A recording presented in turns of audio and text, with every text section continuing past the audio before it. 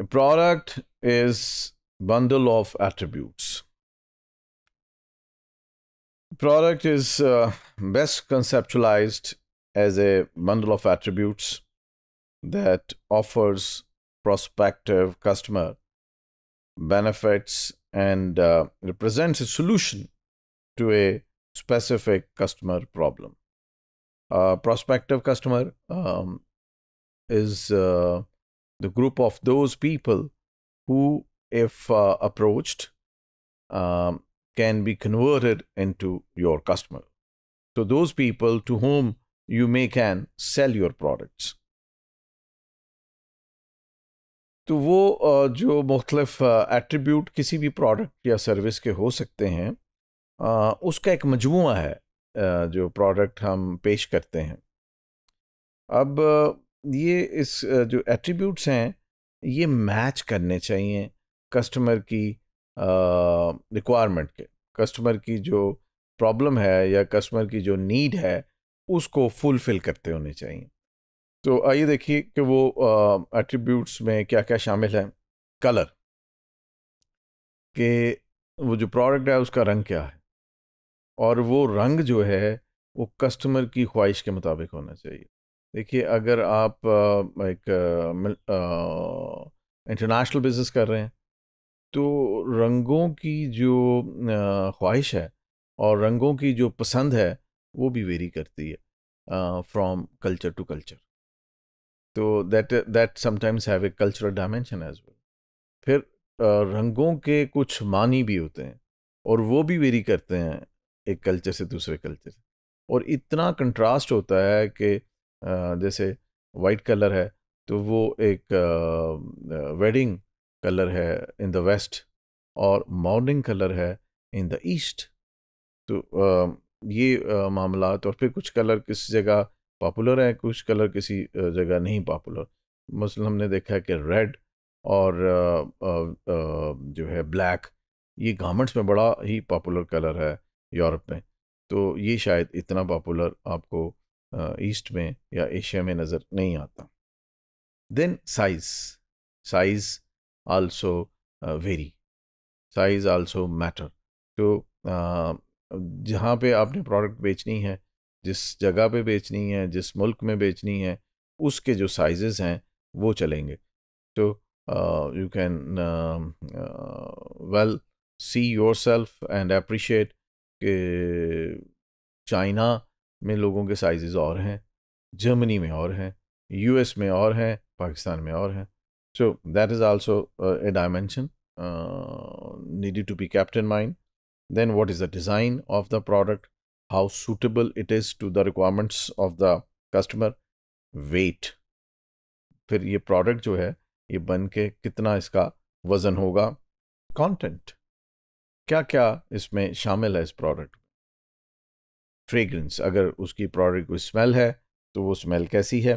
वो सूट करेगी कस्टमर को। अब देखिए ना अगर कोई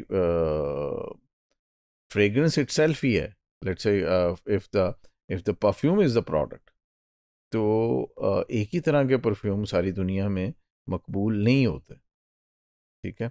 अगर आप मिडल ईस्ट और गल्फ़ देख लें तो वो जो इत्र है वो बड़ा पॉपुलर है जो तेज़ पिंजेंट स्मेल्स हैं वो बड़ी पॉपुलर है अब कुछ जगहों पे फ्रूटी स्मेल्स जो हैं वो ज़्यादा पसंद की जाती है कुछ जगहों पे स्पाइसी बेस जो है वो ज़्यादा पसंद की जाती है तो that that also an element to be considered that how good it is fulfilling the requirements of the customer in that particular region. Then, how it is being tasted, taste buds are also different from region to region, country to country, culture to culture. Feel. What feel does it give?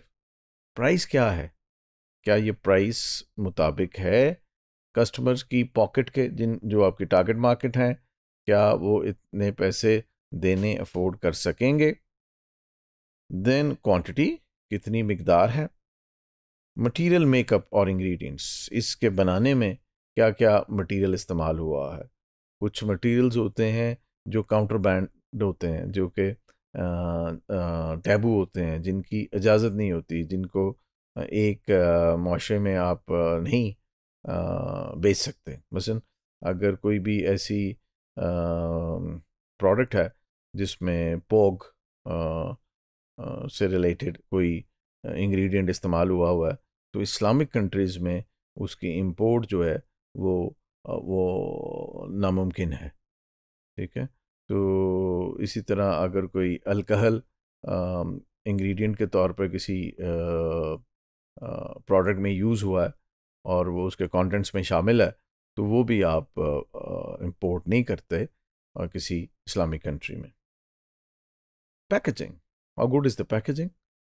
And what type of packaging would be required?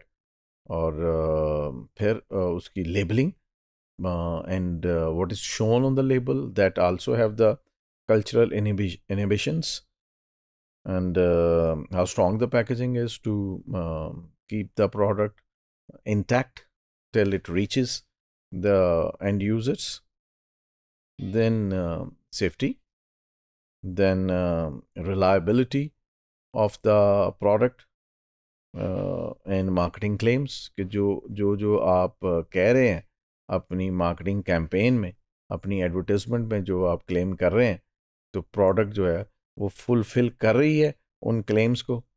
और जिन जिस चीज़ के लिए, जिस problem के लिए बनाई थी how reliable that this product will fulfil the need and requirement for which it was made and is being marketed.